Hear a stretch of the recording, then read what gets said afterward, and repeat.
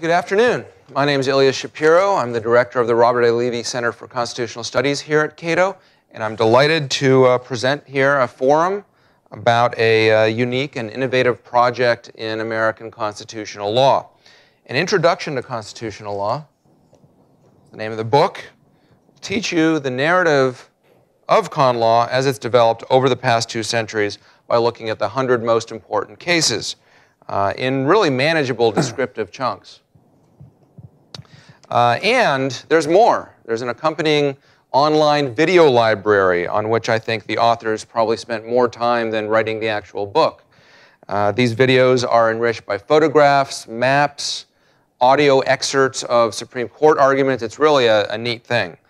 Uh, more importantly, this multimedia work is accessible to everyone. You don't have to be a, a legal scholar, law professor, or even a law student, high school student, uh, uh, homeschoolers, college students, or just generally interested public. Uh, I think you'll be able to understand it all. Uh, law students, for that matter, can read and watch as they prepare for their law school exams. Uh, can, instead of binging Netflix, you can you know, binge uh, Josh and Randy. Um, so anyway, here to discuss this ambitious project are the authors, Randy Barnett, who is the Carmack Waterhouse Professor of Legal Theory at Georgetown University Law Center and also a senior fellow at Cato. Josh Blackman, Associate Professor of Law at South Texas College of Law, Houston, and also an adjunct scholar at Cato. And here to comment are Judge Thomas Hardiman of the U.S. Court of Appeals for the Third Circuit, who was uh, on this very stage yesterday to give the uh, annual B. Kenneth Simon Lecture at our Constitution Day conference. And David Savage, the Supreme Court correspondent for the LA Times, and also no stranger to this stage. But you didn't come here to listen to me read their bios, and if you're uh, interested in this multimedia project, I'm sure you're capable of finding their bios online anyway. So um, without further ado, Randy and Josh, take it away.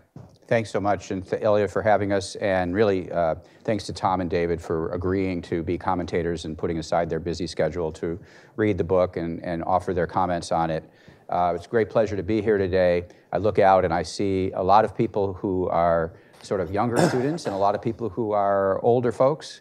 And so one of the things I'm curious to know from, and I take a show of hands, is uh, how many lawyers we have in the audience. So how many l- lawyers do we have in the audience? How many non-lawyers do we have? Okay. Good numbers. Good numbers, good numbers. So uh, this is, huh? Future, and hopefully maybe future lawyers. But in the, But the more non-lawyers, the less you have to dumb down the presentation. Well, they're not as corrupted, that's for sure. Um, so, um, this is a book primarily um, for non lawyers. Um, it is a, pr- uh, a book primarily uh, for law students, uh, for, for as they're taking constitutional law, for college students who are interested in the Constitution and might be taking a course on it, for high school students, for homeschool students. Uh, it actually, the course, the book plus the videos make a homeschool course. Um, and it's also for uh, folks who are not lawyers who are just interested in the Constitution. I know we tracked a lot of those here at Cato, uh, two of the programs that Cato has. And I take some of the other hands that were in the air that were not the uh, students in uh, raising your hands, are people who are just interested in the Constitution. Um, and that's, this is a book for you. It's also a book for lawyers insofar as you may not remember your constitutional law class, uh, or you may not have learned uh, some, much in your constitutional law class, which is typical of con law classes, I have to say, uh, because this book takes a different approach. And I want to describe the approach we take, and then Josh is going to talk about the pedagogy of the book, something about called the flipped classroom, and I'm going to talk about um, the canonical approach to learning constitutional law. I'm a contracts professor as well as a constitutional law professor. I have a contracts casebook.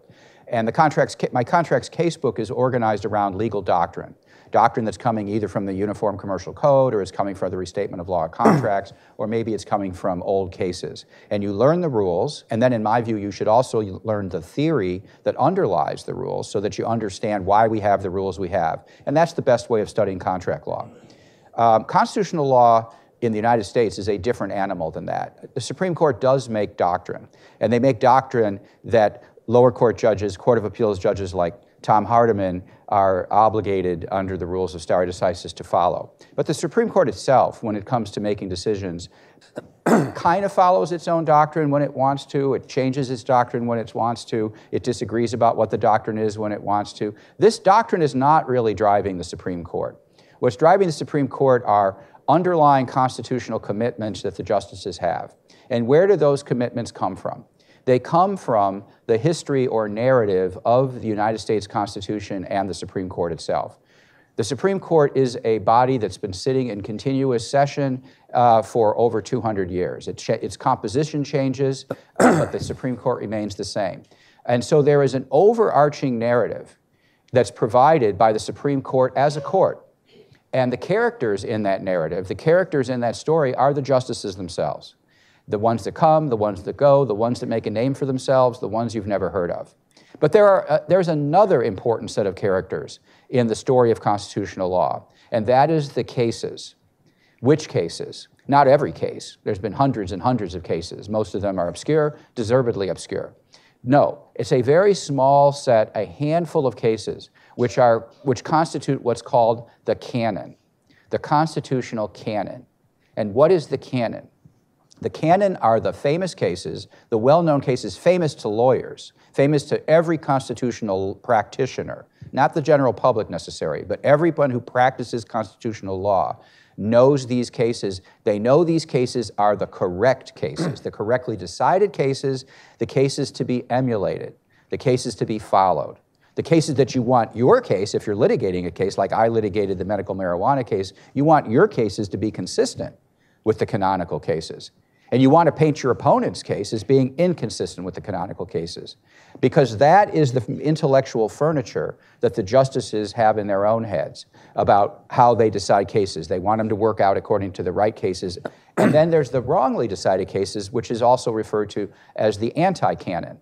These are the canon of cases that are famous for being wrong famous for being wrongly decided. These are the cases that you should not be emulating. That if your lawsuit if your theory sort of leads to the result of an anti canonical case or is consistent with the method of an anti canonical case, then you're going to lose that case. And you want to paint your opponent's case as being like that. What are some of the most famous cases like that? Dred Scott, Plessy versus Ferguson.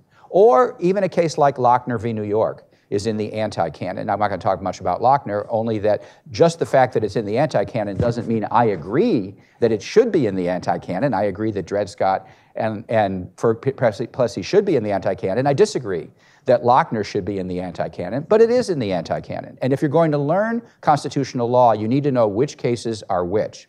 The best, most efficient way of learning this is to learn how these cases were decided in historical context as the events unfolded. In other words, chronologically. How did these cases develop? which cases rose, which cases fall. Some cases are in the canon, then they go into the anti canon, or vice versa. And um, the best way to understand this story is to understand it as a story, and that's the story that this book tells. It is the overarching narrative of constitutional law, the overarching story of constitutional law, which consists of the individual stories of each of these famous cases. And that's how we're organized. Now, it does divide this story into two parts. Part one is the story of the canon with respect to constitutional structure. How the three branches of government, separation of powers, federalism, those cases. That's one story. Then it has a second story about constitutional rights. Um, that's part two. And how do those develop? It just so happens that in the overarching narrative of constitutional law, the structural cases dominate the early part of our history, and the rights cases dominate the later part of our history. So even dividing it into parts one and parts two still maintains some degree of overarching chronological narrative, but it's not, strictly speaking, uh, um, uh, consistently uh, uh, one continuous story. Anyway, our book provides the most in fact, there's no other book on the market like it, no other book that's been published that's like it. Our book provides the story of each one of these cases, which means the facts of each one of these cases, what the court tried to do in each one of these cases, and how that case fits into the broader narrative that is the modern practice of constitutional law. Uh, and with that, I'll turn it over to my co-author, uh, Josh Blackman. The way the pro- this way this project came about um, was that I invited Josh to be a part of my casebook. My casebook is organized this way. Um, I, I, I, I, wanted him on the casebook because I know he's an academic uh, promoter and he would figure out a way to sell more casebooks. And then he came at me with his, and he came out at me with this idea, let's do a video series. I thought that was a good idea. Little did I know how much work it was involved. Two years of real hard work scripting it and filming it. Um, and then what, what, it turned out that our work product was just too important to be limited to people who use our casebook. And that's when we decided to make a separate volume for everybody else who doesn't use our casebook to both read about it um, and to watch it in this series of videos that Josh is about to tell you about. And this is one of the rare instances that probably defies my general principle that uh, PowerPoint is unconstitutional, at least as applied in 90% of the cases. I think this is one of the 10%. This is powerful, not PowerPoint. Okay, this is this this is very good. Thank you so much. It's a pleasure to be here. I see many friends and familiar faces and faces I don't know. Please, afterwards, introduce yourselves. We'll be signing copies of the book. We also have these book plates to sign. If you can't get a copy today, we will be happy to sign one for you if you say you will buy the book online. Um, this project is designed to talk to a different generation of students. Um, I see a lot of students here. Uh, students acquire information differently today than they did a generation ago. The traditional model of learning is you get this big, thick book at the start of the semester. You're assigned 20 or 30 pages. You come to class, and then you talk about what, what you read. And most of what you read is just drilling out the basic facts of a case, what you read. And there's maybe a little bit of time to actually discuss at the end. That model of learning is quickly becoming, I think, obsolete. Um, the newer approach and the approach used in primary and secondary education is what's called the flipped classroom. What does that mean? You flip the sequence with which you learn. Rather than having the same repetitive lecture in class, you flip that to home. That is, you watch the basic lecture on your own to get the facts and basic understanding of a case. And when you come to class, you can leapfrog over a lot of that material and get to the core of what teachers do, which is help you understand the why. The what you can do at home. The why is what you do in school. And this book is designed, it's geared for the flipped classroom. We wrote it for law students, but we kept the language such that college students, advanced high school students, homeschool students, and a wide range of markets can utilize this project. And I want to show a brief clip from one of the videos. Now, this is a video that's very near and dear to Randy's heart it's a case called Gonzalez versus Raich. Uh, Randy argued this case before the Supreme Court in 2005, and it considered whether the federal government can prohibit locally grown marijuana. I got your attention, right? Uh, locally grown marijuana. And now they're listening, right? Um, now, the reason why this video series is important is we're able to bring you into the Supreme Court. We have the audio from the Supreme Court oral argument. We have the justices talking about the cases in their own words. No book will give that to you. Let me play this clip, and I'll give you some commentary afterwards. Um, this is just a two-minute clip. I won't play the entire thing. The whole thing runs about 15. Has had already rejected any theory of enumerated powers that lacked a limiting principle. During oral argument, some of the justices seemed open to the market substitute theory.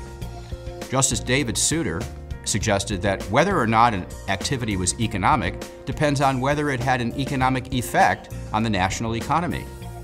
He then equated the economic effect on the interstate market of Angel and Diane's homegrown marijuana with that of Roscoe Filburn's homegrown wheat. If there would be a large market effect, it makes no more sense to call this non economic than Filburn's use. To this, I responded that Lopez and Morrison stood for the proposition that the mere fact that activities may have an economic effect on the market does not make them economic activities. To identify whether an activity is economic, you have to look to the activity itself. But an economic activity is one that's associated with sale, exchange, barter, the production of things for sale and exchange, barter. So, for example, you, prostitution is an economic activity. Marital relations is not an economic activity. We could be talking about virtually the same act. We don't say that because there is a market for prostitution, that therefore everything that has an effect on the market, because it substitutes for what can be obtained in the market, is itself economic activity. After this exchange, the justices dropped the market substitute conception of economic activity. Ultimately, the court ruled for the government by a vote of six to three. The four progressive justices were joined by two of the conservative justices from the Lopez and Morrison majority, Justices Kennedy and Scalia. In his majority opinion, Justice Stevens did not adopt the government's market. All right, that's all you can get for now. Um, funny, right? That's exactly why we did this. The Supreme Court's cases are not simple, they are not straightforward. They include colorful characters, uh, fun narratives, intricate doctrine, complicated precedents, and conflicting reasoning. And this project distills all that into a fun 10 minute video that a student can watch in the metro on the way to class. And that's why I wrote this book. Let me briefly walk you through the chronology of these cases. Um, there are about a hundred of them, and they begin with the Jay Court. Chief Justice John Jay, one of the authors of the Federalist, was one of the first justices on the court. And they decide the case of Chisholm versus Georgia, which you may have never heard of. This was one of the first major Supreme Court cases about the power of federal courts to hear suits against a state. Can a state be sued? The Marshall Court, which I'm sure you've all heard of, was from Chief Justice John Marshall. Marbury versus Madison, the power of judicial review. McCulloch v. Maryland, the power of Congress to regulate interstate commerce and the necessary and proper clause. Gibbons v. Ogden, can Congress regulate boats moving between states? And Barron v. Baltimore, do the Bill of Rights apply to the states? We move on to the period before, during, and after the Civil War in the Taney Court. Prigg versus Pennsylvania involved the Fugitive Slave Act. Dred Scott v. Sandford, the anti canonical case, considered whether people of African descent could ever be citizens. And ex parte Merryman, could the executive suspend the writ of habeas corpus and lock a person up without any judicial process? Following the Civil War, we have the court of Chief Justice Salmon Chase, one of Randy's icons. And here the court grappled with the scope of Congress's powers to regulate local activity. In DeWitt, the court said Congress cannot regulate the sale of oil. In Hepburn, legal tender, paper money, was declared unconstitutional. But a year, a year later, Knox versus Lee, the court said, no, no, paper money is just fine. In Slaughterhouse and Bradwell, the court took this new provision of the Constitution, the Privileges or Immunities Clause, and reduced it to a nullity. The Waite Court was in the late 1870s and 1880s, had cases involving civil rights, some good, some not so good. Strauder said that a jury cannot be segregated, and Yick Wo said that uh, permits cannot be denied to Asian people in San Francisco. But the civil rights cases was a huge decision which said that Congress does not have the power to prohibit discrimination in places of public accommodation. Congress would not try another civil rights law for nearly 100 years after that. We move on to the progressive era in the early 1900s about the power of both the state and the federal government to regulate labor conditions. In E.C. Knight and in Lochner, the court held that certain labor laws were unconstitutional. But in Champion versus Ames and Muller, the court upheld various labor laws. And of course, in the same time, with the anti canonical case of Plessy versus Ferguson, which upheld a separate but equal doctrine. We move on to the White Court, which sat primarily during World War I. We had a number of cases involving the rights of free speech. Could you be punished for criticizing the government? In Schenck and Debs and Abrams, the answer was yes, you can. The Taft Court, in the run up to World War II, had some cases involving substantive due process. Was there a right to raise your own children? Was there a right to direct your children's education? Meyer, Nebraska, and Pierce, the Society of Sisters, said yes. Then we have a case that's in very firmly in the anti-canon, Buck v. Bell. This decision upheld a compulsory sterilization law of so-called imbeciles. An awful, awful decision. We move on to the era before the New Deal, where the court gradually expanded how much power the federal government had. In cases like Schechter Poultry, the court said, no, no, no, Congress, you cannot regulate the sale of local chickens. But in other cases like NLRB versus Jones and Laughlin Steel and Darby, the court said, yes, you can. You can go after local transactions. And it was really here that the administrative state exploded. This was the turning point during the 1930s. Move on to World War II with a case like Korematsu, also firmly in the anti-canon, which upheld the power of the federal government to detain people based solely on their nationality. But the biggest changes in the century came during the court known as the Warren Court. Chief Justice Earl Warren presided for barely 15 years, but we had a revolution in constitutional law. With civil rights and equality in cases like Brown versus Board of Education and Cooper against Aaron. We have cases involving free exercise of religion with Sherbert versus Verner. Freedom of speech, the right to criticize public officials in New York Times versus Sullivan. Of course, Griswold v. Connecticut recognized a right to constitutional privacy to have contraceptives. And US v. O'Brien said you can burn your draft card, but you get in trouble if you do so. Move on to the Burger Court, which was decided in the 1970s. Of course, the biggest case there was Roe v. Wade, the abortion decision, but there were also cases involving affirmative action, Bakke, as well as takings of private property in Penn Central. The biggest chunk of our book, probably a quarter of it, was from the latter part of the 20th century, the court of Chief Justice William H. Rehnquist. This was a federalism revolution about the power of the state governments to regulate what the states are doing. The court held in cases like New York versus United States and, and Printz versus United States that Congress cannot issue dire- directives, commands to states. And in Lopez and Morrison, the court held that uh, uh, uh, Congress cannot regulate non economic activity. All well and good, but then we get to 2005 with Randy's case, Gonzales versus Raich, where the court broadened the scope of what economic activity is. It gave Congress a very wide latitude to go after local activity.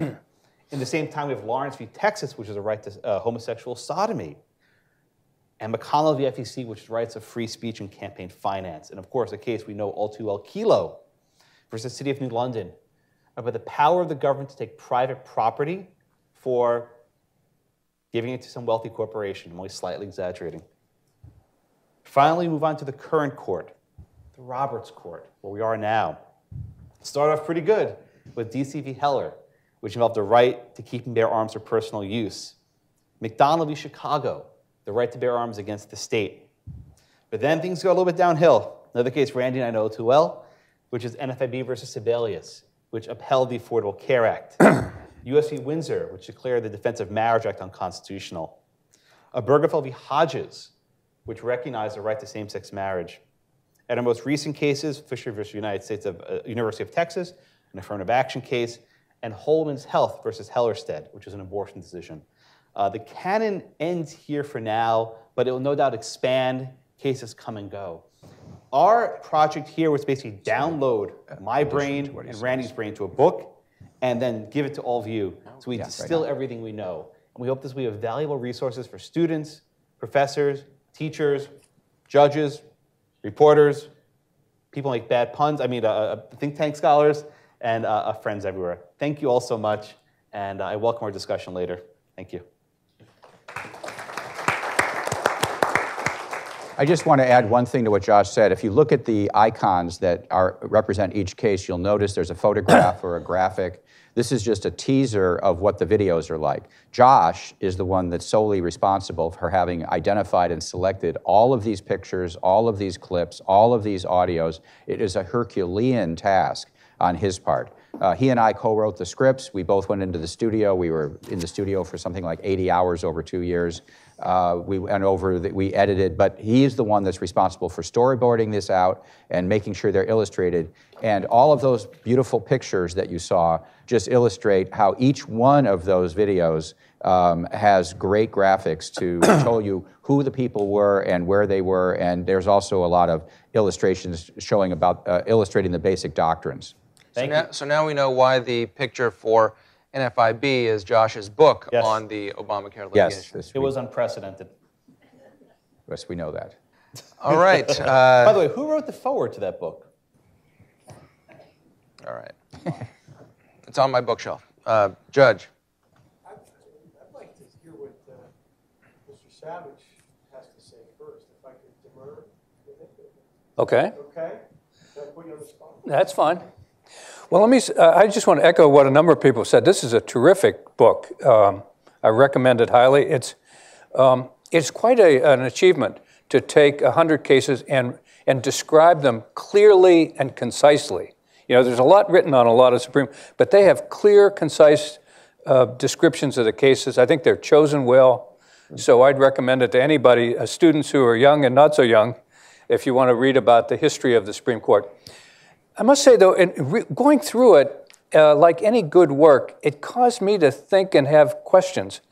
And they don't go to what um, they have written about, it's the thought of what the Constitution says and what the Supreme Court has done over time.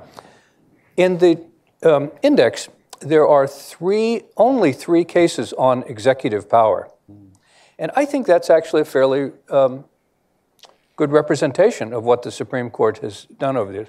So if you had to say, which is the greater threat to a democracy, to a, a constitutional government, is it a elected House, Senate, and President who sort of go off the deep end, or a parliament in Britain and does something really out of line, or is it an unchecked executive? But if you said, how many cases are there in the Supreme Court's history that have put checks on the executive power? There are very few. Um, a couple days ago, I happened to be in the car this weekend. You, you know, there was some drone attack in, in Saudi Arabia, and the president put out a statement that said something like, locked and loaded depending on verification. now, you know what that means. He's threatening what we use the phrase military action.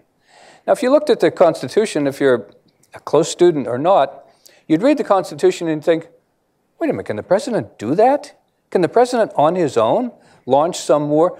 Well, I guess the answer is yes. The Supreme Court's never said otherwise. And I find that sort of surprising. I can explain it. All, all of the years they've said there has to be a case in controversy. They've stayed away from any, they've never made any such um, statement to that effect, saying the, the, we would think it was sort of quaint if the president had put out a statement saying, you know, if the evidence comes back in, uh, against Iran, I may go to Congress and ask for a declaration of war. Doesn't that sound sort of old, old-fashioned? You can't fit that in a tweet. Yeah, th- that probably wouldn't fit in a tweet. Can the president on his own spend money for something that Congress has refused to appropriate money for? I would have thought if you'd read the Constitution, the answer is no. It says no money shall be. But um, we saw an interesting demonstration of the contrary in, uh, this year. Remember, the president wanted some, I forget the number, eight or seven billion dollars for a border wall. The House said no. There was a so called partial government shutdown. At the end of the shutdown, uh, they agreed on some deal, but it didn't include the money the president wanted. So a few days later, he said, I'm declaring a national emergency under some mid 19th, and I'm going to transfer a couple billion dollars from the military budget, and I'm going to spend it on the wall. I don't care whether you people in, in Congress agree with that or not. And he did. Uh, there was a lawsuit brought. Uh, a judge issued an injunction, predictably in Northern California, a national injunction saying don't do that. The Ninth Circuit upheld that. Well, a, a couple in mid July, on a Friday night, I remember it well, on a Friday evening in late July, the Supreme Court issued a five to four order based on an emergency uh, appeal from the Solicitor General, no reasoning, no majority opinion, no dissent, saying, yes, we're lifting that the, the president can go ahead and spend that money. And that will be the law through the end of, um, for the foreseeable future, because cases are percolating. So, anyway, I come away thinking, wow, uh, there are a lot of areas where it's interesting. Uh, Britain is going through a version of this same situation right now. You know, you would have thought, can the prime minister shut down the parliament during a, a contentious time and sort of seemingly on political basis so he can negotiate a. And I think a lot of people in Britain said, well, you can't do that. But, you know, we could sit on this side of the Atlantic saying, oh, that's poor Brits. They don't have a written constitution like we do, and, and, and they don't have a Supreme Court that's used to deciding cases like that. But, you know, there is some sort of case I've been reading about is in the, the Supreme Court, uh, and um, I don't know how they're going to decide it, but it seems like they're going to decide it. If the same thing happens on this side of the Atlantic, if two weeks from now the president launches a, um, now talking uh, hypotheticals here, launches some war in the East, and the House members of the House say, "You can't do that. Uh, we didn't authorize this war." The president would say, "Oh, go pound salt. I'm going to do what you want." If they would then bring some sort of lawsuit to try to stop it under a part of the Constitution that says the court can decide controversies involving the United States, we all know the court would say, "Oh." you don't have standing, or uh, this is a political question, we don't decide that. So, anyway, I came away thinking uh, this book is a very good, clear, concise view of what the Supreme Court has done over time on deciding cases among the Constitution. But I also say, when I come to read it, I think, wow, there are whole aspects of the Constitution where I'm not confident the Supreme Court has done a very good job of enforcing and interpreting what the Constitution actually says. Also, a paucity of Third Amendment cases. I found. We do not have a chapter in the Third Amendment. We'll have- There'll be 101 cases. You know, as you were speaking there, that made me think. I, I'm sure President Trump would love to be able to prorogue Congress. Uh, Oh, my God. But how, how do you, how do we define executive power, though? That, in your view, that doesn't include executive branch agencies? Well, I'm, I'm, There are a lot of cases in there that involve executive power that, was- that don't deal with what the president himself says. and Yeah, I'm only relying on, I mean, they talk about Youngstown, you know, the great constitutional cases, but go, Yeah, we cover Noel Canning, which is sort of an executive power case, recently, but when we say executive power, we mean Article 2, not some sort of delegated power from the, from Congress the executive branch to regulate uh, what about civil Chevron? Yeah. Not to Chevron. Not to Chevron. Is that an intentional omission? Uh, Well, let me talk about this. I mean, if, you know, one, one of the difficulties of any time you say, you know, the 100 best movies of all time or the 100 cases you should know, you run the risk of uh, having a lot of smart people say, oh, they left out these 17 cases. Before you answer, let me. Just, I should have mentioned this earlier. I'm not setting my fantasy football lineup here. I'm checking the hashtag Cato SCOTUS. So any of you watching this on live stream, again, the multimedia, up to date, you know, new student kind of era, uh, or for that matter, any of you in the auditorium, you're welcome to tweet questions at me. Just use hashtag or comments. Use hashtag Cato SCOTUS. Anyway. you know, judges ask questions. That's what they do. So I will answer His Honor's question. They don't like talking to answer, ask questions. Uh, it's a good question, Your Honor. Um, we had a very tough time picking cases. And let me tell you something. We did not start out thinking, what are the 100 cases? That wasn't our plan at all. We simply put a list together of cases we thought that were worth studying. And at the end, we had 103. It was completely accidental. I said, wow, a great book would be 100 cases. So I sort of called the list a little bit. Uh, but we, ex- we, we excluded stuff. What did we exclude? Nothing in criminal procedure. We do the Fourth, Fifth, or Sixth Amendments. Miranda, Terry v. Ohio, these sorts of very significant cases we just did not include. Uh, we didn't include stuff on the federal court's jurisdiction, which is very significant. Right? When can the federal courts actually hear a case? We dabble a little bit. Um, we didn't talk about things like the Dormant Commerce Clause, which is very important. Uh, the Contracts Clause, which was very significant in the early years of the Republic. Uh, uh, we didn't do death penalty, Eighth Amendment cases, or cruel and unusual punishment. Um, we didn't do voting rights cases, which were also very significant. Uh, there were a lot of topics we just did not cover altogether. Um, this is only meant to be, as the title indicates, an introduction to constitutional law. Uh, but we tried to pick the case, if you read these 100, you will now be fluent in just about any conversation of common law.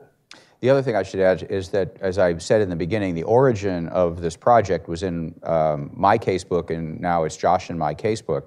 This is a ca- these are casebooks that are used to teach constitutional law.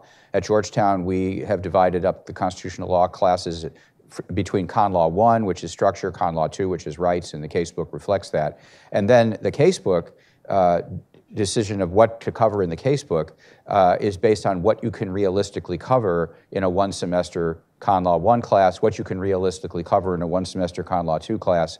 Um, and so that requires making hard choices. And there are certain topics that are just not taught in your basic constitutional law class almost anywhere, like criminal procedure is taught in a separate class, uh, federal courts is taught in a separate class. So because they're not covered by the casebook, they're not, they don't, they're not covered by our videos either, although there are things in the casebook, like the Dormant Commerce Clause, that are covered in the casebook and are not covered in this book, uh, partly on the grounds that it, it, it gets very technical. Um, and we really do mean this to be accessible to a broader audience, and that just seemed like it was just a little too much uh, for a book like this. Well, I think the accessibility is it, perhaps its chief virtue among the many virtues of the book. And I have to reluctantly agree with what Josh said about the multimedia presentation. I'm, I'm dating myself, but when I uh, learned in college, you know, we were taught in our Great Books program that you're not going to read Plato on Homer, you're going to read Homer. You're not going to read Aristotle on Plato, you're going to read Aristotle, and so on and so forth. The, the, the method was insistent upon reading the most important things that had ever been written by taking the authors at face value, primary sources. And I still feel that way about law. Uh, you know, you shouldn't read uh, a 20th century legal scholar on Blackstone. You should, you know, it's available, you know, got it in my chambers. Read Blackstone. Um, I feel the same way about Supreme Court decisions. And when I teach advanced constitutional law, I force my students to read every word of every case that we yeah. study. That includes concurrences and dissents. Well, I have the luxury of doing that because I teach a third year seminar. As anybody who's been to law school knows, there is so much packed into that curriculum that at some level it's, it's a survey course.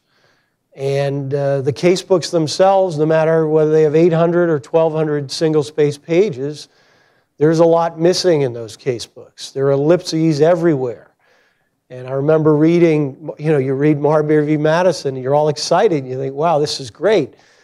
They only give you a tiny sliver of the case because you have to get through the material. So when I took a look at, at this book, the thing that was most striking to me was if you have any intellectual curiosity at all about the law or the Constitution or American history, this is incredibly accessible and I think will provoke most people who are curious in any of those areas, not just constitutional law, to delve more deeply.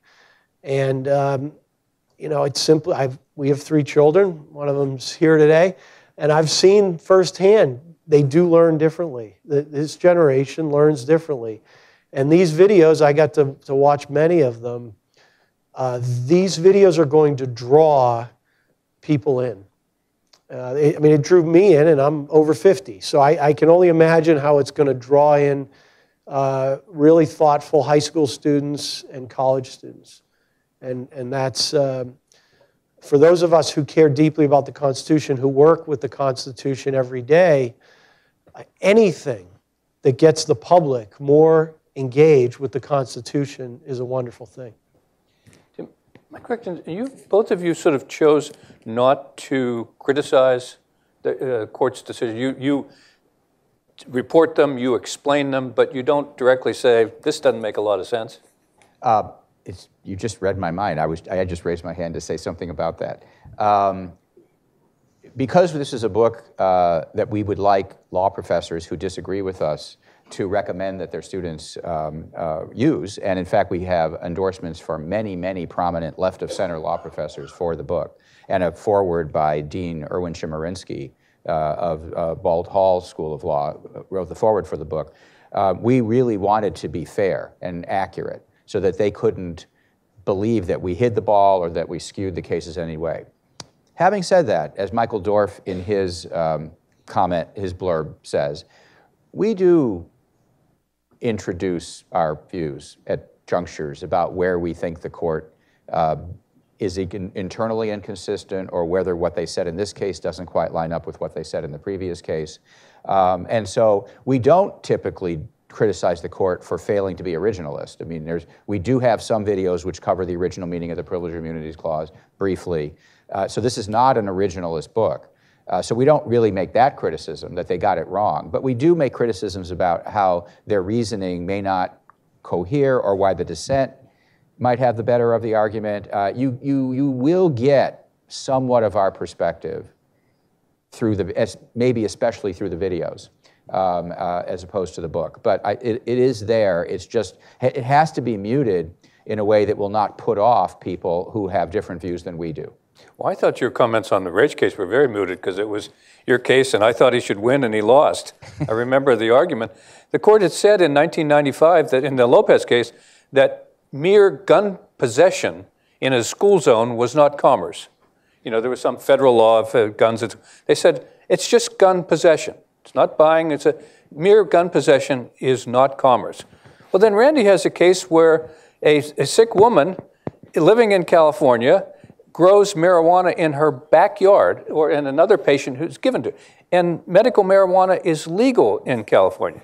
So, how is it that backyard homegrown marijuana is commerce? And I thought, Randy brought that case to the Supreme Court. I thought, well, that's a good case. You ought to win.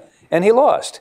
that some of the justices, including Justice Scalia and Kennedy, who were said gun possession was not commerce, found a way to say that marijuana in your backyard is commerce, even though everybody agreed she didn't buy it, she didn't sell it, it wasn't going on any market. And then flip forward to their famous case, the healthcare case. I would have thought, wow, uh, I would have thought that regulating insurance, saying you have to provide whatever it is, uh, in regard pre-existing, which sure sounded like commerce. Now, I realize there was a, a mandate question, but the Supreme Court said gun possession is not commerce, backyard marijuana is commerce, regulating health care, four of them were willing to, I guess five of them said, no, no, that's not commerce. And I would have thought, that's an interesting uh, collection of views on what is and is not commerce. But then we explain the reasoning of the court that distinguishes those three cases from each other. I, I, there's one other point I want to make that, that, that David's question brings up, and that is in the Raich case, we, you saw on the screen that we got uh, three votes on behalf of. Sorry. On behalf of uh, uh, the users of medical marijuana, who were our three votes? Conservative Chief Justice Rehnquist, conservative Clarence Thomas, and conservative uh, Sandra Day O'Connor. Those right. were our three votes. Right. We lost Justice Scalia, we lost Justice Kennedy. But who, which votes did we not ever even have a chance of getting? It was the progressive justices on the court, the left side of the court. Now, you would think if you were a kind of unsophisticated legal realist who thinks that judges just act politically to get the uh, results that they like, you would think that the left side of the court would like the results. It's a marijuana case, it's out of California, it's a Ninth Circuit case. Um, it had, we had sympathetic uh, parties, we had sick women, um, and we were arguing pretty much on behalf of other sick people um, who had cancer patients who were taking chemotherapy. We had all the facts that we would, should want to appeal to the left side of the court, and yet we never had a shot. And I think David will agree. We never had a shot at the left side of the court. This is a book about why that's true. And it this was, is, a, is it because Justice Ginsburg is against the little guy? This is. Uh, uh, oh God, Ilya. This this is this is a book about how these justices operate with a larger picture in their heads, a larger narrative, and where they fit into the narrative. And our case did not fit into the progressive narrative of broad federal power um, that was going to be constrained only by enumerated rights or by a suspect classification or something like that. We didn't fit into the picture of the Constitution they carried in their head. And they put their commitment to constitutional principle, their constitutional principles, ahead of their compassion for the sick and the dying. This is the opinion which, at, not which, on the video, by the way. which, which at some level you kind of have to admire that they put their principled commitments ahead of their compassion. Uh, but this is a book to understand how that's and how Supreme Court litigators know this is the case before they go into court. They know who they can have a shot at and who they don't. It's the story the justices carry in their heads that explains this, not the doctrine. Let me play another brief clip. We developed a timeline to illustrate how the Supreme Court's doctrines fluctuated along the lines, David. So let me play this clip for a few seconds. and has now spoken. Let's conclude by returning to our brief history of implied powers. Lopez and Morrison represented an effort Lopez was the gun case that David mentioned. to put the brakes on any further expansion of New Deal and Warren Court doctrines governing implied federal powers. Now, Congress could only regulate intrastate activity having a substantial effect on interstate commerce if the activity was economic in nature. Then, in Raich, Raich was the marijuana case Randy did. by allowing Congress to reach even non economic activity as part of a broader regulatory scheme, the court seemed to allow Congress to go beyond the high water mark established by the New Deal Court in Wickard. So here we put basically 80 years of Supreme Court precedent in a single graphic. However, in NFIB versus Sebelius, the court That's the Obamacare case. was not willing to extend Congress's powers beyond the regulation of economic and non economic activity to the regulation of inactivity. This was not a repudiation of the New Deal. Rather, the Chief Justice stuck with the Rehnquist Court stance of this far and no farther without a judicially administrable limiting principle. In other words, the court would not go beyond the line it had drawn in Wickard and then extended in Raich. So this graphic shows in basically one sentence the answer to David's question, right? How do you reconcile 80 odd years of precedent on implied federal powers? Why guns, yes, marijuana, no? Why yes to uh, uh, uh, uh, health care but not to pot? We tried to synthesize a very complicated story that we take for granted in a way that anyone, anyone, I mean that, can get this in about 10 minutes to watch this video. Can I make one more point? Of course you can. Uh, the way we were able to successfully formulate our healthcare challenge um, on Commerce Clause and Necessary and Proper Clause grounds depended on our understanding of what the Supreme Court had really said. And what, there's a difference between what the Supreme Court has really said about a lot of things and what law professors say they said and how law professors teach that subject. Um, I believe that lower courts are bound by what the Supreme Court has said, but I think they're only bound by what the Supreme Court has actually said. They're not bound by what law professors have extrapolated from what the Supreme Court has said to some greater principle. And Hence so, my emphasis for primary sources. right. So, and I I think that's absolutely right. What's so a good, what's this a is good a book. example This, of that? Huh? What's a good, you, you've got something in mind. What's a good example of that, Randy, for the audience, of, uh, where law professors will take some broad principle and assert that it's the law, even though it's sort of an extrapolation? Right. So, for example, they will say that the New Deal basically said that Congress has a plenary power to regulate anything that, in Congress's opinion, represents a national problem, um, and particularly when it comes to the economy. And in fact, that was a theory that was uh, on offer at the time that Wickard versus Filburn was decided, and there was an internal debate, which our book and the case book discusses. There was an internal debate as, uh, as to whether the court should be candid and accept that proposition. And at the end of the day, they couldn't bite the bullet and do that. So they never said what that. They never uh, announced that Congress has a plenary power, unreviewable by the courts, to regulate the national economy. They never said that.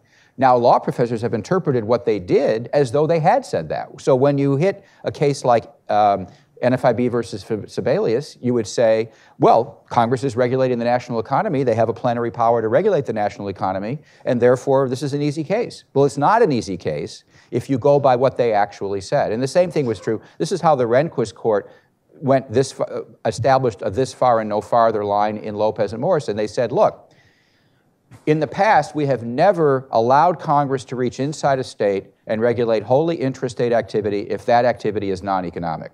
Now, the truth is that the court had never previously made a distinction between economic and non economic.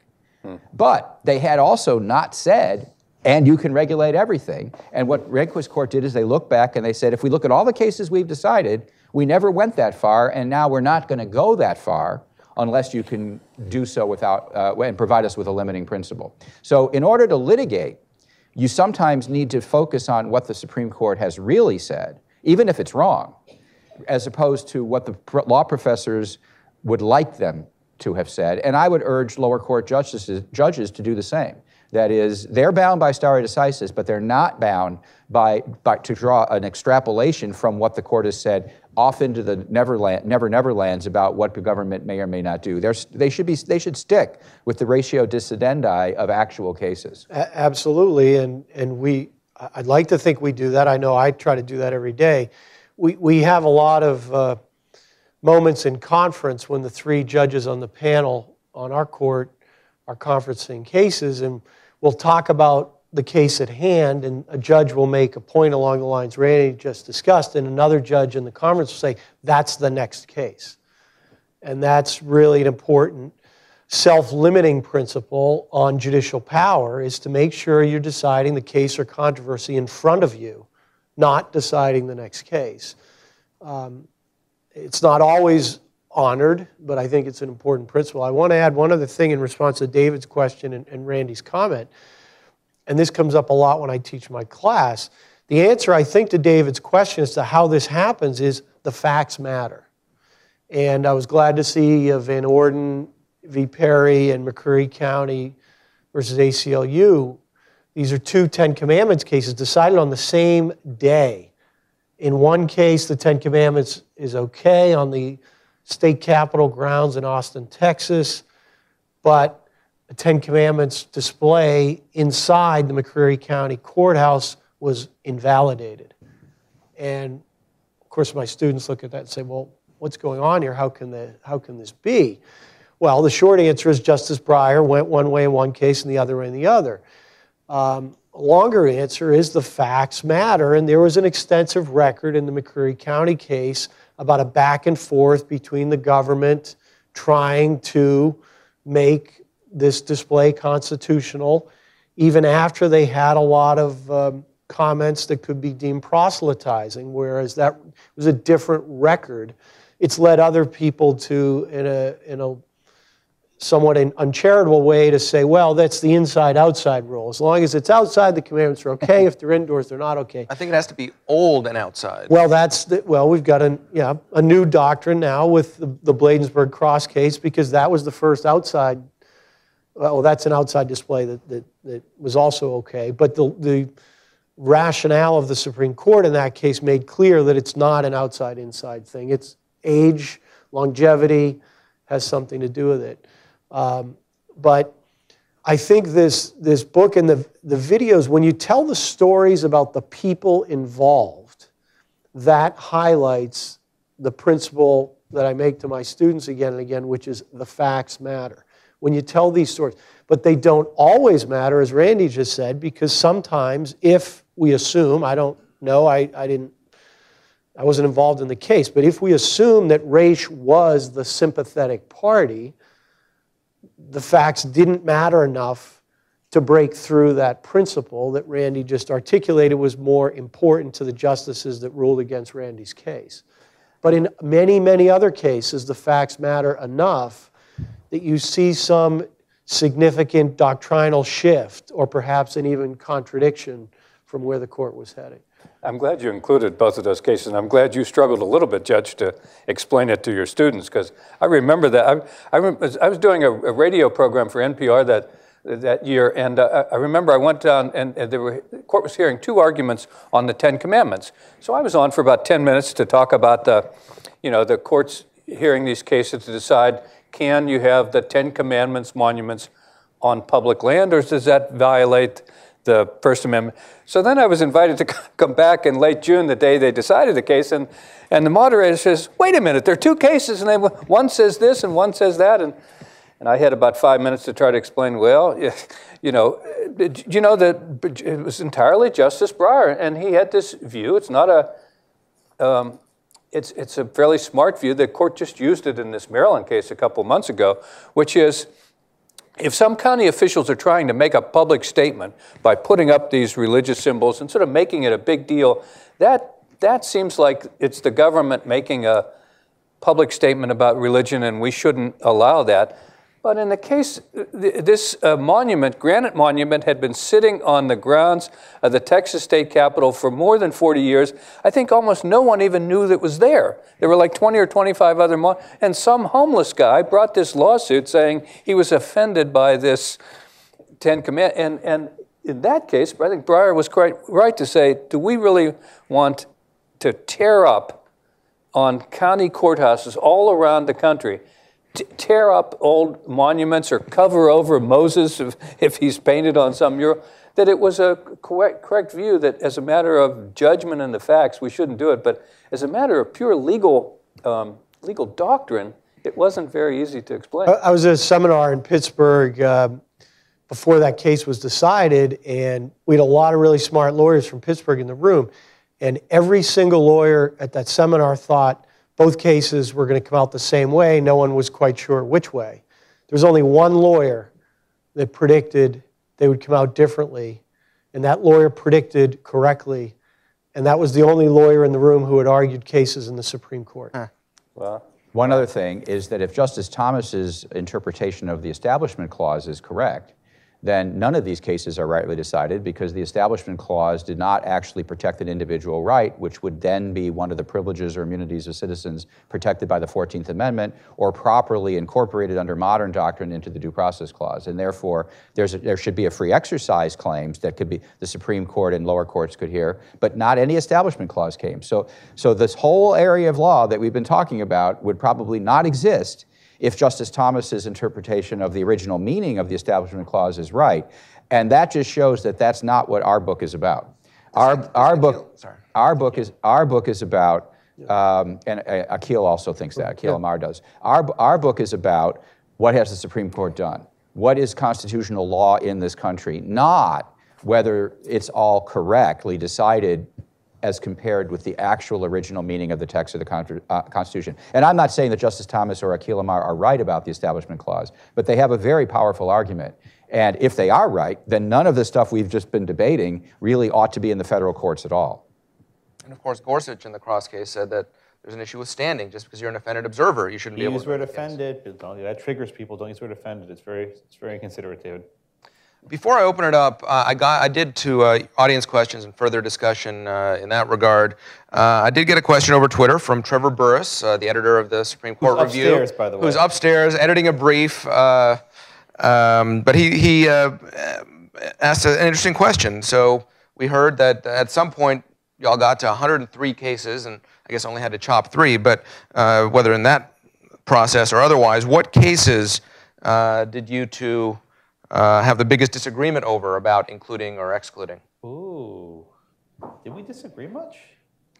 Yeah, we disagreed about a lot. No, but, but we didn't. We didn't. We didn't disagree about that. Okay, if you didn't disagree about, okay, then, then, then, let me amend the question and say, what did you disagree about most, and in general, oh. in the process of creating this? Uh, Randy, you go first. Um, well, we wrangled a lot about the scripts. Um, so Josh would do the first draft of the scripts, and he basically based the first draft uh, uh, uh on the text of the casebook, which I had written um, over the years. Um, uh, but there were times in which his understanding of what he thought these cases were doing is different than my understanding, and we went back and forth. We were not in the same room. We were doing this all by email or by uh, exchanging uh, texts, like you know documents. And uh, we had some very long discussions where I tried to convince him that he was interpreting these cases uh, incorrectly. And I won most of those, and it, it, it, was sort of like a little seminar between him and me, but one private seminar. I didn't win all of them. I, I, my consciousness was raised on, on some matters that I hadn't been familiar with.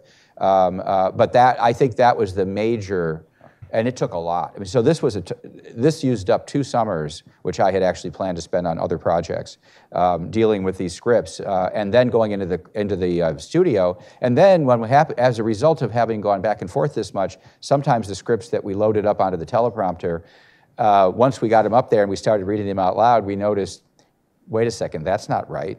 Uh, we sort of let some fact get by, or we had the parties reversed or something, and so we were trying to rewrite them on this prompter um, and maybe disagreed, disagreed about things like that. So there, there was a lot of that.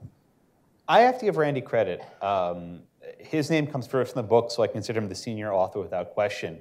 but he listened. Uh, if I didn't agree, he never shut me down. And we had a lot of long debates, uh, primarily about inclusion, right? What to include and what to exclude. And this is David's point about conci- concision. How concise was it?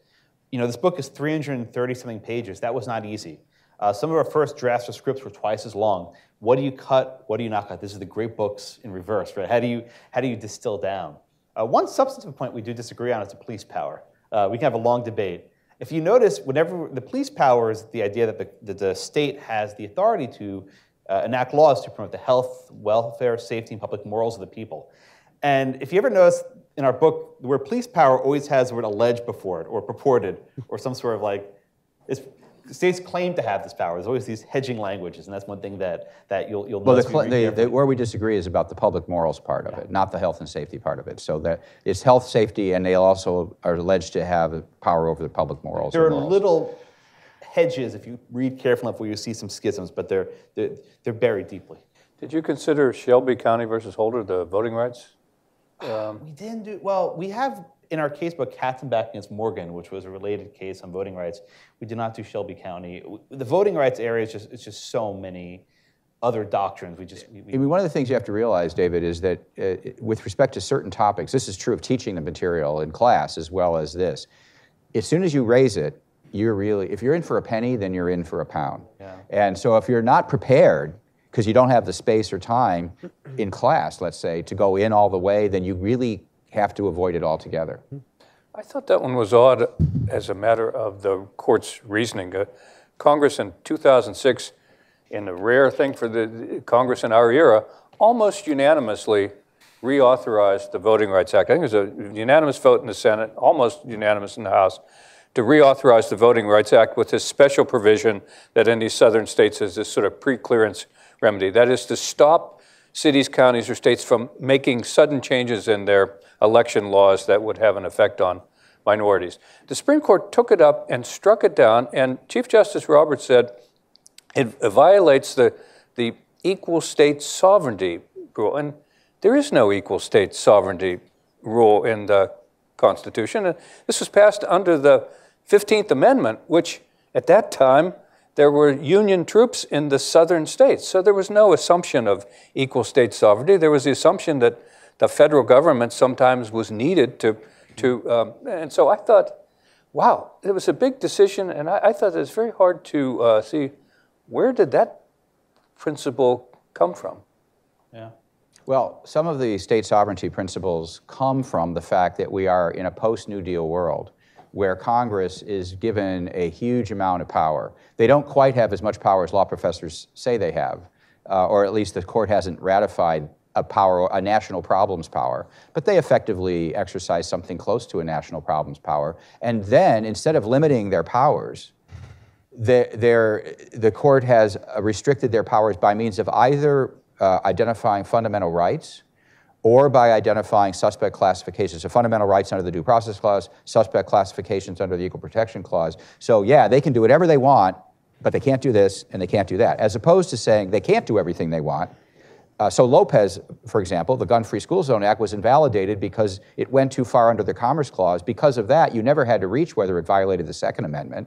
But most of when you when you give Congress an unlimited power, you then have to carve out exceptions. So what happened after the New Deal in the Rehnquist court is they started carving out an exception for states, like they had carved out for suspect classifications and like they had carved out for fundamental rights. Why?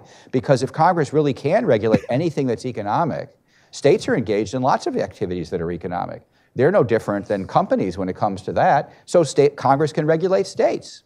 And if Congress can regulate states, then what happens to federalism? Well, because federalism is a first principle, then we have to, eh, we're not going to repudiate the New Deal framework, but because federalism is first principle within the New Deal framework, we're going to treat states like we treat suspect classifications, we're going to treat states like we treat fundamental rights.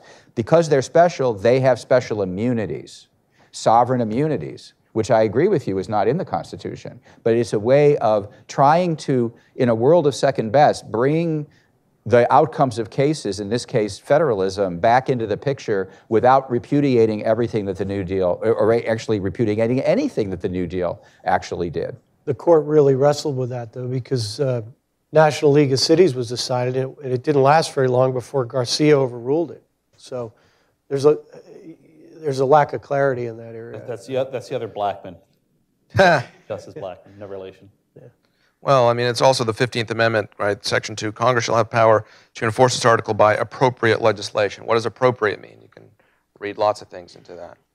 All right, let's open it up uh, to audience questions. Please wait for the microphone, uh, say your name and affiliation, and uh, actually ask a question.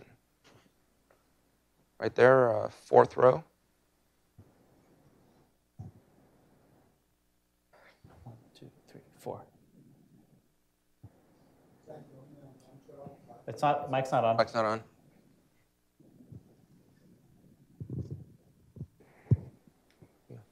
No, it's- Here we go. Uh, Thank you. I'm Leon Weintraub. Uh, I'm not a lawyer, but I am a retired member of the diplomatic service. I'd like to get back to the th- theoretical issue of whether the president might uh, initiate a few missile strikes against Iran. Uh, I'm wondering i- if, in light of the au- congressional authorization for the use of military f- f- force, if that could be, if considerably, as I understand it, that justifies a lot of what we're doing in Afghanistan and elsewhere, So they say. could that, if, if you want to follow that, could that be used to, to justify some, perhaps some smaller strikes against Iran? And is the AUMF completely stretched beyond recognizing the right of Congress to, to declare war? Well, without uh, commenting on the AUMF, uh, authorization for use of military force, let me make a general observation about executive power of the kind that uh, David was just mentioning. Um, in, during this administration, more than the previous one, um, uh, you have a lot of uh, uh, press attention to and po- po- political attention to decisions that have been made by the president, President Trump, and whether he has ex- exceeded uh, his executive authority. And in, in this area and a lot of other areas. And when the press ever comes to me, when one of these stories breaks and it just happens, he proposes something by a tweet or something actually happens, mostly it's the tweet, uh, they come to me and they say, Well, does the president have the power to do this under the Constitution? And, uh, or is it illegal? Not under the Constitution, but is this, does he have the power to do it? I said, Look, you first of all, I need to know what statute is he invoking that gave him discretion to do X, Y, and Z because you know what? There are 10, tons and tons of statutes on the book that gives the president discretion to do this and discretion to do that. Trade policy, you know, the stuff that he's doing about, you know, saying companies shall not do this or do that. Is that, can he do that? I don't know. Tell me what the trade authority, tell me what trade authority he has. What Congress, what has Congress given him by way of discretionary power? And you're almost always going to find that there is a statute and that the president has, act, and is, has actually invoked that statute.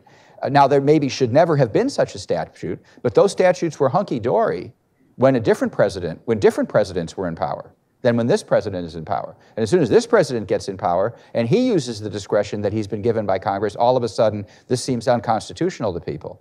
Uh, it may be unconstitutional, but it may not be illegal depending on whether the discretion given by these myriad statutes that I just, and so I can never answer the pre- reporter's question. I don't go on the record because I say, first I need to know what the statutes are. Usually that's going to come several days later when we find out what statutes have been invoked. And then we'll look at those statutes. Now, Josh, unlike me, on certain issues has actually gone through the statutes to see if the president has this stat authority or that. I typically just move on to the next story. He live tweets the statutes. Right. do. So you have you want to say something about that? I will. Um, starting in the 1930s, Congress basically gave away the House. They said, we will give the president whatever authority he wants, we don't have to do it. And this was the rise of the modern administrative state. Um, now, that's great when the president's someone you like, and when the president's someone you don't like, it's not so great. Um, and we've seen the last couple years this, this never ending stream where the president's relied on statutes that are very broad. And courts said, no, no, no, you can't do this. Um, in the travel ban litigation, for example, uh, this was about whether the president had the statutory authority to deny entry to certain aliens from Muslim countries. Um, this was a terrible policy, but Congress has given him some pretty big powers. A judge in the Fourth Circuit actually wrote in an opinion that the president's actions would violate the non delegation doctrine, right? That the president was actually exercising legislative powers. I can't imagine any federal judge, a lower court judge at least, finding a violation of the non delegation doctrine. But now they did because of the current situation we have now. Uh, my hope is that if any principles endure, It's that some future president will allow Congress to scale back the powers given, uh, but I'm opt- optimistic. Whether it's Elizabeth Warren or Bernie Sanders or Andrew Yang, whoever it happens to be, uh, the Yang Gang's going to keep the executive power in place. And you actually don't see uh, Democrats who are in opposition to this president really proposing scaling back presidential power. They really do want to go to the microphones and criticize this, that, or the other thing, and even call things illegal and call things unconstitutional. But there's never any serious proposal to revisit any of these statutory grants of discretion to the president because they're going to want to use it when they get around to uh, holding office. Yeah. Right here in the front row. And then we'll go to the third row middle. Uh, Richard Coleman, retired uh, from Customs and Border Protection. Um, Citizens United, the right to bribe anonymously. How, how does how do we square that with any uh, interpretation of free speech? I don't think that's an accurate characterization at all. First off, the court didn't get rid of disclosure requirements. Only Justice Thomas would have. So uh, Citizens United upheld the right uh, of Congress to force people to disclose. Also, the word bribe. There is a distinction between uh, contributing to a campaign versus an independent expenditure. The court said that limitations can be made on contributions. So I, I you know, I, I don't know that that's an accurate characterization. And the facts of Citizen United was that a nonprofit com- corporation, which is why it made a cor- be, it was a corporation, uh, ran a movie critical of Hillary Clinton that it wanted to run during the election. Um, and under the Federal Election Commission rules um, or the or, or the statute, uh, this was barred because it's within 60 days of a of a camp of an election. Uh, they could not run a video, a movie that they'd made that was critical of a presidential nomination. Their identity was known. The video was known, um, and then it was a question of whether they had a free speech right to run that video in a political campaign. And so um, I don't think bribe, the word bribe, under no circumstances could be applied to the actual facts of that case, which is why Judge Hardiman says facts matter. Thank you. Middle of the third row, as I said. And then we're going to go to the uh, edge of the fifth row.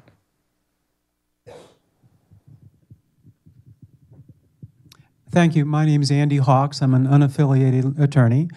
Could you discuss how a case becomes canonical as opposed to anti canonical? Because it seems to me the jury's still out on a lot of the cases you've included. Yeah. You take this one. That's true. Um, uh, and, and, and there are cases um, that um, are canonical or not, depending on which political view you have. Um, so you would say Roe versus Wade, for example, uh, which is a big case. Um, um, it's sacrosanct for one side, and it's anathema for, uh, anathematic for the other side. Uh, so, the, in other words, its status is, is still being contested. Um, So it's not a super duper precedent? uh, well, that's super duper precedent. It- it- It's an inside joke where pe- some people have argued that there are precedents that are so important that they can never be reversed, and that's just a way of just putting a thumb on the scale for the precedents that those people happen to like. Um, I, I think it's a it's a good question, and that is that um, the Supreme. The, the, the truth subtitle of the, of, the, of the book is 100 Supreme Court cases everyone should know.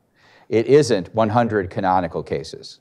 Um, it does use the canonical case approach by saying one of the reasons why you should know most of these cases is they're considered canonical, but not every case that we talk about is actually considered canonical. And the direct answer to your question is this is a sociological group based phenomenon. It's just a matter of attitude, and attitudes can change. So, for example, Lochner is considered anti canonical. It has been taught as anti canonical. Uh, this is the Bake Shop case that was decided by the Supreme Court protecting liberty of contract. It was considered anti canonical by, by progressives, it, and it was considered anti canonical by many conservatives. Um, and I think it's, it's, it, it, shouldn't be. I think it's actually a great case. And it was well decided, uh, the way it should have been decided, uh, and uh, if properly understood. But I can't deny that both left and right think that it's a bad case that you should not emulate. Edge of the fifth row up there.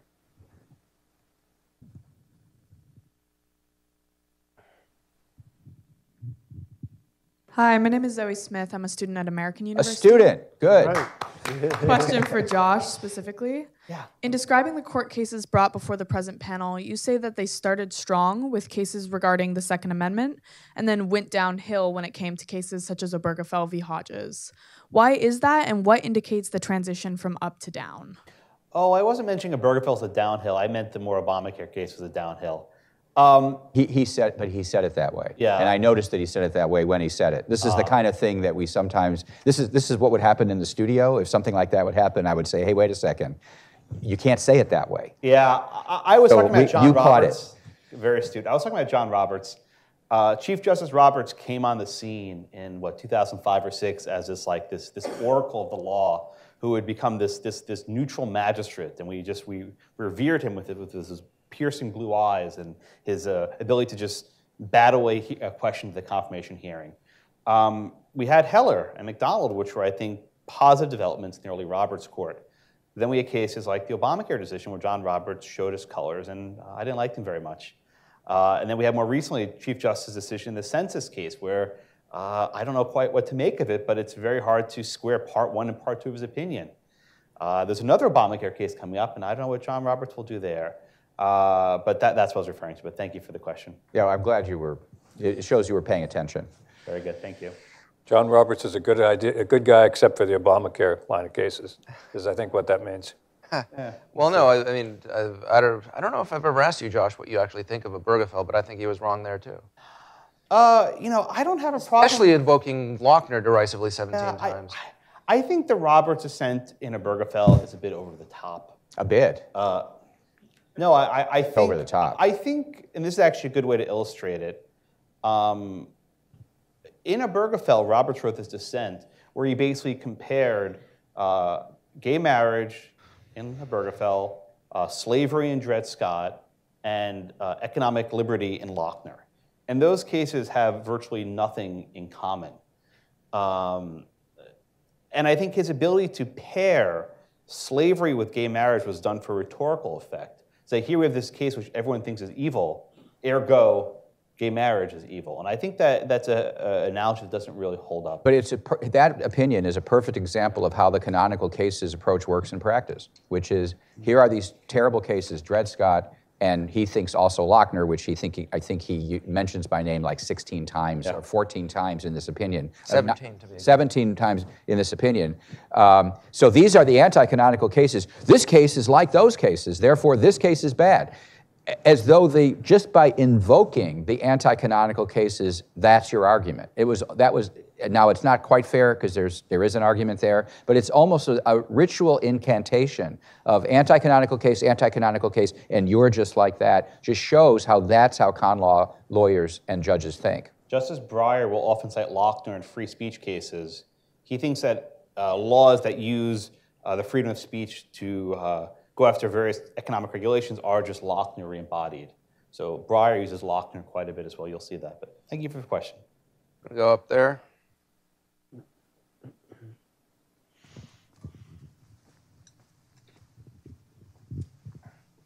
Uh, David Ralston, retired Department of Defense. Uh, I assume there have been no emoluments cases, but if there were one, uh, would it apply only to the president or to his family or law firm or whatever? How could you say a word about that? Well, you just happen to have one of the experts on the emoluments clause on the panel, and it's and it's not me. I, I noticed there were no emoluments cases in your uh, 100 Oh as boy, well. where do I start? Okay, well, um, okay. Uh, the question was about the foreign emoluments clause. There are actually are two emoluments clauses. There's a domestic one for the Aren't there like president. Three? There's also the, the, the, the, the relevant here, there, there are two. Uh, make it more complicated for me. The Saxby fix? Yeah, the Next Saxby fix with Hillary, right? She was unconstitutional. Yep. There was one that says that's the president, and so the one You know, it was a lot easier to be on panels when Roger was moderating them, when, when Ilya's moderating them, because Roger didn't throw in a lot of these little asides that would that distract us from our answer. Oh, But they make it more entertaining. Does anybody think this is more entertaining? okay. The short answer is that the courts have not ruled on who is covered by the Foreign Emoluments Clause. Uh, I have filed a number of amicus briefs in various courts on behalf of Professor Seth Barrett Tillman in Ireland. Uh, and we've taken the position that the Foreign Emoluments Clause, the language, only covers appointed officials and not elected officials. Uh, this is a position that's consistent with the practices of George Washington, who accepted many gifts from abroad without going to Congress for consent first. Uh, one federal judge in Maryland uh, has disagreed with us and said that we're wrong. We disagree with him. Uh, and this issue will be litigated. I am doubtful the Supreme Court ever actually takes an emoluments clause case on the merits. If they take it at all, they can probably dump it on uh, various jurisdictional grounds. There might not be standing or not be a cause of action. So I don't know that we'll ever actually get a court to endorse our theory. Uh, but Seth and I have spent a lot of time on this exact topic, and we're uh, uh, we're we're pleased as. And it's no, they got uh, Seth got a lot of pushback from law professors. Oh boy, yes. And uh, a- and who thought that he was kind of you know making things up and saying things un, uh, that were unfounded, and he's really they, they had to back off. They're, the the they had to back off. It's just like the, when they criticized the Affordable Care Act, uh, cause of action as frivolous at the end of the day, it was not. It may have been wrong, but it was certainly not frivolous. And, and the same thing is true with with Seth Seth's arguments. yeah, they apologized, and the historians withdrew their claim against us. They, they apologized, so I think I'm in good shape.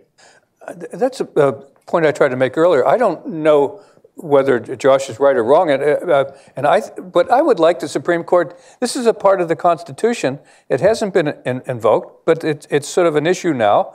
But it, I do think it's correct to say that if the case gets into the court, the Supreme Court will say, "Oh, you don't have any standing to object," or you know, nobody has, and so they will not decide it. So, in other words, it's an another, it's an important provision in the Constitution that the Supreme Court will say nothing about to either clarify what's the reach of the uh, emoluments clause and who's covered. And I think that's an unfortunate development way back where the court has said we're only going to decide cases, and uh, then there's all the rules of standing.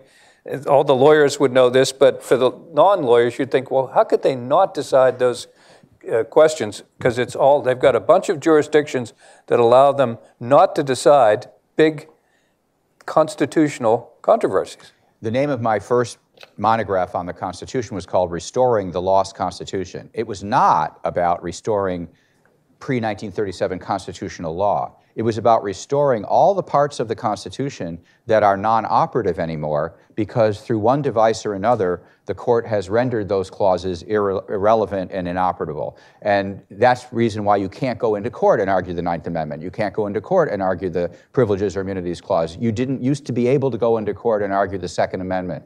There were all these clauses that are lost. And restoring the lost Constitution means restoring the whole Constitution uh, as it was originally designed. I'm going to play a video in the background, but we actually graphically represented Randy's book about restoring the holes in the Constitution. Here. Is this one good? So there actually are chunks missing from the Constitution, and we bring them back.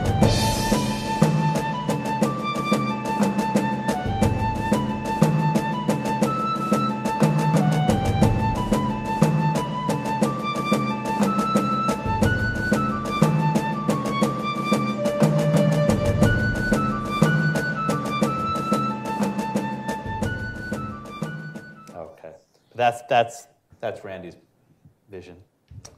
Roger has a question. This is a question for you, Josh. Uh, when you uh, were up there um, trying to, I'll use the word integrate, uh, the uh, Commerce Clause line of cases from NFIB to um, all the way up to, um, well, actually, NLRB. Excuse me, NLRB to NFIB, okay, and, and in between.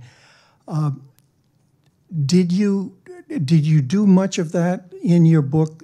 Try to integrate lines of cases, Yeah. and in the Commerce Clause line that you spoke about, did you uh, did you um, perhaps give the court too much credit in trying to make sense and square these cases, which, as you know, cannot really be squared? There are. Um, if you have a book, if you turn to page, let's see, 22, which is right there, I'll, I'll just give it to Roger so you can see it. We try to illustrate, got props. We tried to illustrate as best as we can how the justices shifted their approach to implied powers. Um, what we articulate is it's not just the Commerce Clause, it's the necessary and proper clause. The meaning of the word commerce has not changed much since Gibbons against Ogden in the 1820s. It means the exchange or intercourse of goods and services between states. There's an exception about health insurance, we'll get there another time, right? But the, the meaning of commerce has been pretty fixed. What's fluctuated is implied powers. That is, what can Congress do to carry into execution the power of regulating commerce? And in cases like Marbury, I'm sorry, McCulloch v. Maryland, Chief Justice Marshall sort of expanded it and said if something is perhaps convenient to Congress, they can do it.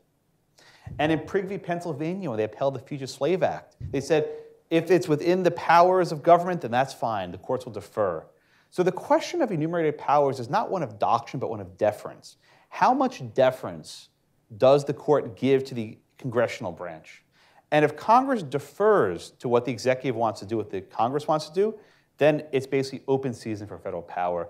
And when we describe it, it's what's the role of the courts to say that there are some limits or merely to defer. And that, I think, helps explain the sort of fluctuation of how much deference or lack of deference will be afforded to the court. I'm glad that you raised the necessary and proper clauses. That's a point that Randy, in his writings, has brought out. You cannot understand the Commerce Clause unless you integrate it with the necessary and proper clause, because that's where so much is done. And getting back to the earlier exchange I had with David, it is the interpretation of the necessary and proper clause that has fluctuated yeah. and which law professors have overlooked in saying, oh, this is Commerce Clause, this is Commerce Clause, this is Commerce Clause, when it isn't actually, it never was. It was necessary and proper clause, and then how do you read that? And, and, and once you plug that back in, then a lot of this stuff starts to make more sense, and you can predict more or less what Justice Scalia was going to do in NFIB based on what he had done in Printz on necessary and proper and what he had done in Raich on necessary and proper.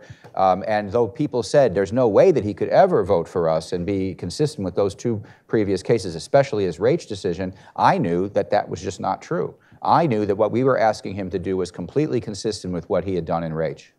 So, Josh, to the question, did you perhaps give the court too much credit in trying to integrate this and make sense of what is nonsense? Um, maybe. You know, I think when you make a map, when you draw a map, there are distortions, right? Greenland's not really that big. We could actually take it pretty easily, I think. Um, there it is.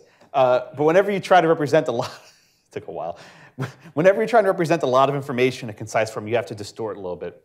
And to paint the history of implied powers in this sort of granular fashion, we have to make a lot of assumptions.